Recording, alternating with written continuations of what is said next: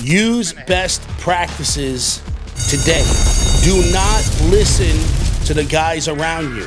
You need to model the big guys. If you want to play in the big game, you need best practices, industry standard practices now. Okay? It's like saying you want to go to the NFL, but all you're doing is hanging out with hockey players. How is that going to help you?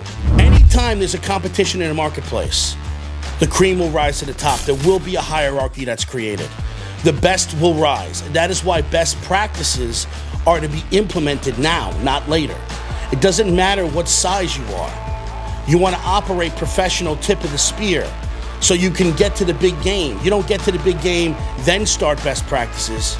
You've already adopted best practices, and that's how you got to the big game. I don't care if you're doing kitchen and bathroom renovations, operate like a billion dollar contract. Be tip of the spear. Crush and dominate your competition. You got to remember, this is a business, and entrepreneurship rules the day.